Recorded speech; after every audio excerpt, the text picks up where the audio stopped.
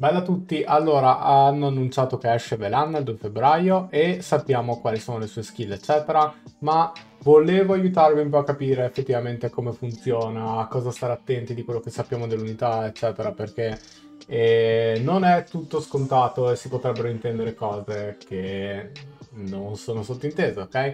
Quindi parliamone un po'. Chiaramente utilizzerò la versione di Pride One perché è fatta molto bene, ti divide le skill e tutto. E ci sono un paio di punti a cui stare attenti su questa unità perché mm, veramente non c'è niente da dare per scontato, ma comunque, allora, lei è un Warrior Undead, che è qualcosa che al momento ci mancava, e come ogni Warrior il suo ruolo è di ammazzare i tank, e questo non cambia. Ora, rispetto agli altri warrior come possono essere eh, René, eh, Aru, eccetera, eccetera, insomma, diciamo che funziona in maniera un po' diversa e cerca delle sinergie con il team e adesso andiamo a vedere esattamente in che modo lo fa.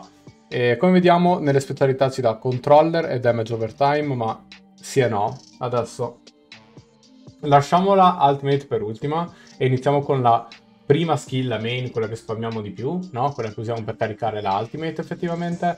Allora, praticamente quello che ci dice qua, e cerco di tradurvelo per come è scritto, perché la traduzione è giusta, ma il come... Il come fa in pratica questa cosa sbagliata. Praticamente ti dice che attacca il nemico più vicino eh, con degli slash, ok? Questi slash dopo si muovono in avanti per 5 metri e per 180 gradi. Ok? Questo è importantissimo perché non è tanto la traduzione che è fatta male, è un po' il come viene interpretata la skill. Secondo me nel modo sbagliato. Praticamente non è lei che va avanti, quindi non è qualcuno che va sulla backline nemica. Semplicemente sono i suoi slash che vanno avanti per 5 metri, quindi lei fa la skill, quindi immaginatevi che lei è qua contro il vostro tank e poi la skill va indietro, ma non è lei che si muove, è la skill che va più avanti, ok? Quindi la skill ha un bel range a 5 metri, quindi dalle 2 alle 3 unità sicuramente ve le colpisce. E, e si fa 180 gradi attorno a lei, quindi si fa letteralmente tutto...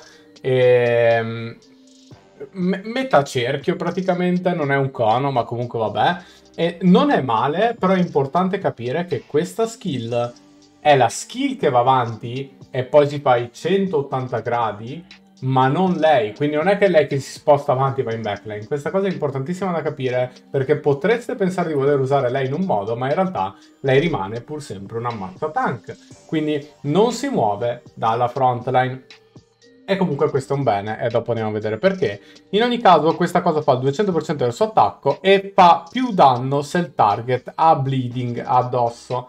Ora, altra cosa importante, a livello 181 aumentiamo i danni, ma se il target ha bleeding addosso stunniamo anche, quindi ha una buonissima possibilità di stun ed è per quello che qui la viene considerata controller, perché ha più modi per stunnare, quindi questo è assolutamente importante. Ora, e cerco di spostare un attimo la mia eh, webcam qua, che così evitiamo di coprire eh, skill eventualmente. Passiamo alla prima sub skill. Le sub skill sono quelle che non controllate, che vengono fatte ogni dot, automaticamente dai personaggi. Evoca una spada nel terreno, che fa danno pari al 110% dell'attacco in un raggio di 2.5 metri, che solitamente è abbastanza per eh, colpire tutta la frontline avversaria, poi dipende da chi c'è e cosa non c'è, però metti una situazione dove avete, che ne so, Adrian più eh, Claude avanti o Adrian più qualcuno che è venuto avanti alla backline, oppure due warrior, li colpite quasi sicuramente entrambi. In ogni caso, mette bleed, quindi 100% non è una possibilità di mettere bleed, mette bleed al 100% e questo bleed fa il 50% dell'attacco ogni 2 secondi per 12 secondi. Questa roba fa tanto danno, è un dot che fa parecchio danno, nel senso, no? E con i potenziamenti vari aumentiamo il danno, aumentiamo la durata e arriviamo circa a un 400% di attacco di danno solamente ai dot, che è particolarmente forte, è molto comodo, è molto comodo. E soprattutto la cosa comoda non è tanto il danno del dot, ma è più il fatto che il dot poi ci permette di attivare gli effetti aggiuntivi delle altre skill e della main skill. Comunque, la seconda sub, stessa identica cosa della prima, la differenza è che la seconda sub fa più danno se il target ha bleed addosso e, piuttosto che mettere bleed. Quindi semplicemente una skill extra che fa danno se il target ha bleed addosso. Ok?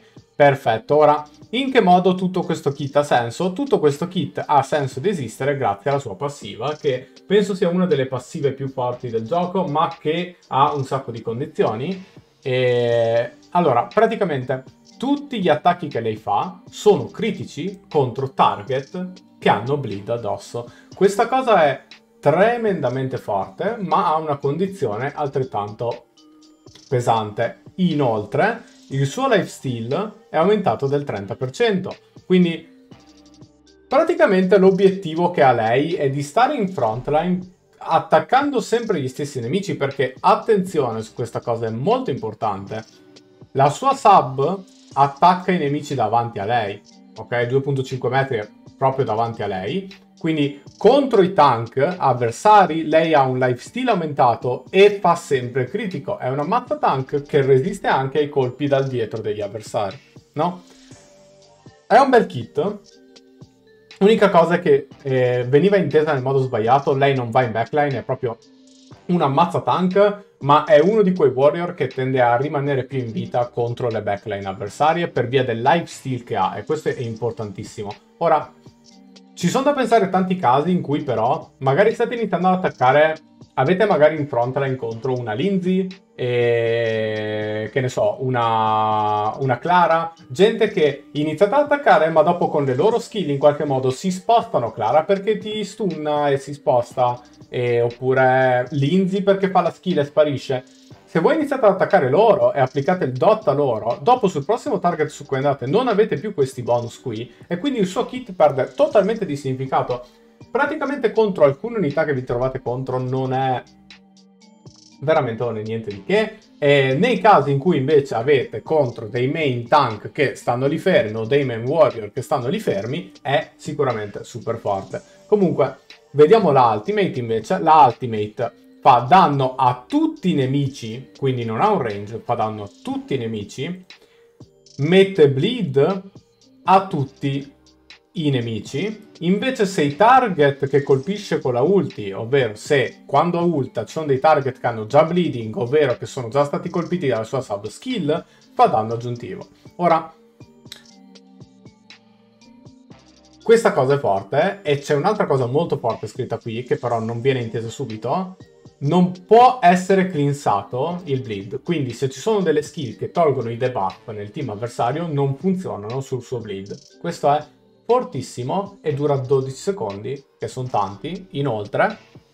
E quando abbiamo l'unità al 201, stunniamo anche tutti i target per 3 secondi. E l'unica unità in gioco al momento che stunna AOE e fa danno a tutti i nemici è Mika quando c'è anche Sia in campo, che anche quella secondo me è una delle ultimate più forti del gioco al momento, ma eh, ha la condizione di avere Sia in campo, mentre lei non ha alcuna condizione se non di essere a livello 201 per fare anche lo stun. E ovviamente su eh, target che sono già blindati. Quindi quasi tutti questi effetti funzionano solamente sui tank che lei ha di fronte, bene o male, ok? Ovviamente l'ultimate colpisce tutti, quindi quando fate l'ultimate e state giocando in team con una Yame o con una Jacqueline che anche loro mettono bleed, allora sicuramente tutto il suo kit diventa ancora più forte, però è difficile che abbiate Yame o che ci siano dei game dove giocate anche Jacqueline, secondo me, e quindi non lo so, in generale, in generale è proprio difficile perché non c'è un team undead e bene o male undead penso sia il type che performa meno in story in questo momento, ma non è neanche perché il team undead in sé è scarso, ma perché i DPS che vi trovate contro sono tutti fata e quindi vi faccio un esempio. Se siete contro tre, due fate DPS, anche il fatto che siete contro Vivienne e Miriam, che sono due fate DPS che controllate contro, fanno molto danno. Se lei non riesce a tenere la sua passiva del lifesteal up, probabilmente è totalmente inutile, è molto facile che esploda. Quindi è molto importante che lei venga giocata solamente quando si trova contro personaggi che non si muovono per nessun motivo, perché altrimenti non è tanto per il danno ridotto che fate, ma è più per il fatto che lei perde lifesteal, che penso che sia una delle cose più utili in assoluto che eh, di, di, tutto questo suo kit, ok? E nulla, per completare, come abbiamo detto, quando attacca eh, personaggi che hanno bleed addosso lei critta sempre e il suo artefatto aumenta il suo crit damage. Quando arriviamo all'upgrade finale dell'artefatto probabilmente questa diventa l'ammazza tank più forte al momento del gioco, quasi sicuramente perché 60% crit damage aumentato, ovvero 60% di crit damage aumentato sempre perché quando eh, attiva la sua passiva praticamente critta sempre, no? E è molto forte, è uno degli artefatti più forti considerato il kit dell'unità. Quindi in generale quello che volevo dire era ok, queste sono le condizioni dove dovete stare attenti con chi giocare Velanna contro chi giocare Velanna, ok? È importantissimo capire che la main skill non è lei che si sposta in avanti, ma sono i suoi attacchi che vanno in avanti. Quindi attenzione, ok? Non è un assassin numero 2, non è Jacqueline più forte, assolutamente no e è un'unità forte, ha un kit bellissimo. Al momento, secondo me, non ha un team e... con la quale può essere giocata. Ma sicuramente come unità singolarmente è molto forte. E l'unica cosa che non può assolutamente giocare contro unità come Lindsay, non può giocare contro Clara, eh, non può giocare contro Claire, non può giocare contro Jacqueline e, oddio, Jacqueline forse sì perché non è esattamente il suo target, ma contro altri warrior invece, e, e, oppure contro i tank, tendenzialmente può giocare. Forse un'altra menzione buona è che non può giocare contro René come warrior perché René va ad evasione e quindi se missate gli attacchi, missate lifesteal e lì secondo me è la sua fine, insomma. Quindi nulla, bene o male, questo è tutto quello che ho da dire. L'unità è molto bella sicuramente. Nel senso, comunque è molto carina, è molto forte, il kit è veramente bello. Il problema è che e ci sono queste cose a cui stare attento. Quindi è sicuramente giocabile, ma deve essere giocata solamente mh, contro i team giusti perché altrimenti tutto il suo kit perde di importanza e nulla spero sia stato utile. Ok fatemi sapere se effettivamente vi è stato utile questa mini review del personaggio eh, nei commenti. Se lo è stata ditemelo che eventualmente ne farò altre pian piano che escono altri personaggi perché ovviamente mi piace parlare del, eh, dei PG eccetera eccetera e un attimo cercare di analizzare un po' com'è la situazione ok per il resto fate bravi, una buona giornata a tutti e bella.